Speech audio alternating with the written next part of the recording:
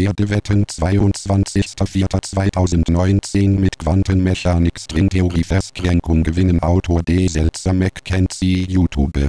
Heute ist Ostermontag, der 22. April 2019 und ich werde gleich per Internet in Australien Entowom das dortige zweite Pferderennen um 4.37 Uhr deutscher Zeit, dort sind es 9 Stunden später, wetten. Hier zunächst die Daten der Pferde.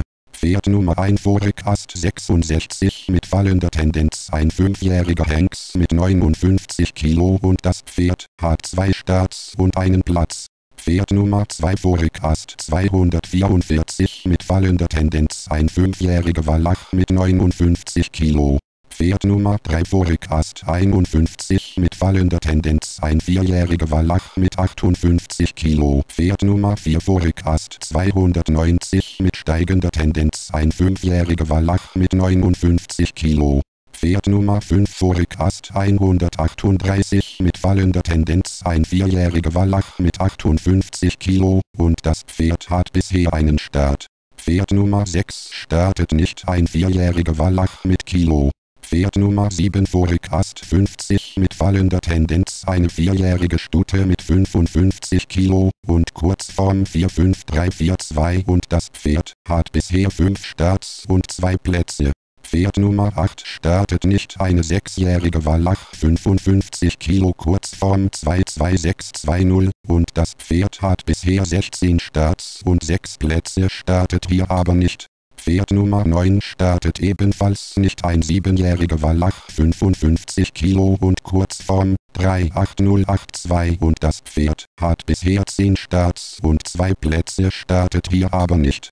Pferd Nummer 10 Forecast 183 mit fallender Tendenz eine vierjährige Stute mit 54 Kilo und Kurzform 72434 und das Pferd hat bisher 13 Starts und 2 Plätze.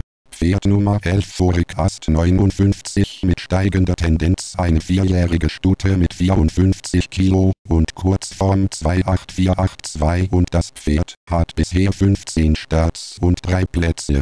Pferd Nummer 12 Forecast 53 mit steigender Tendenz ein sechsjähriger Wallach mit 54 Kilo, Kurzform 34765 und das Pferd hat bisher 18 Starts und 4 Plätze.